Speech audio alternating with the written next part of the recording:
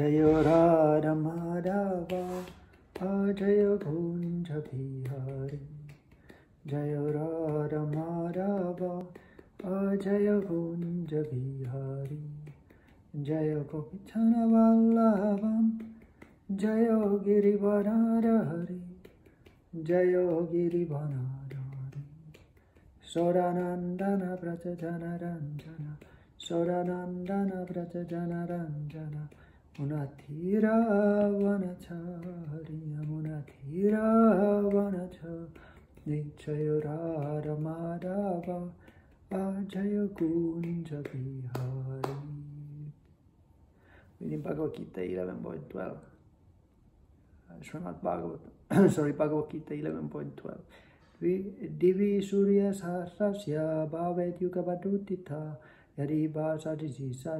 Bhasastasya Mahatmanaha If hundreds of thousands of suns rose up at once into the sky, they might resemble the effulgence of the Supreme Person in that universal form.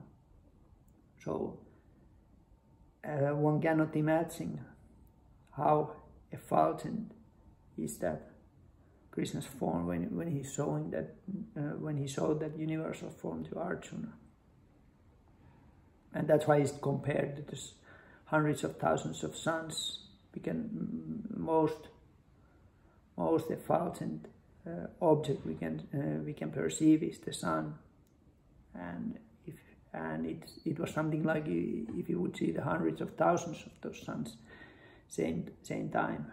That was the, the effulgence of supreme person in the universal form. So that there, there, there was the Virat Rupa, that actual form, and then there was the uh, impersonal Brahman as well, which was uh, the uh, uh, which was the effulgence of the universal form what Arjuna saw. So that there was basically personal Brahman. In that sense, that uh, Krishna was not uh, not in the personal form, but Krishna was showing all the forms simultaneously. All the you can say all the persons simultaneously, and then there was there there, there was that uh, impersonal effulgence of that Virat Rupa, what Arjuna saw. And that's something that can cannot be described. Bhagavad Gita Kitsai.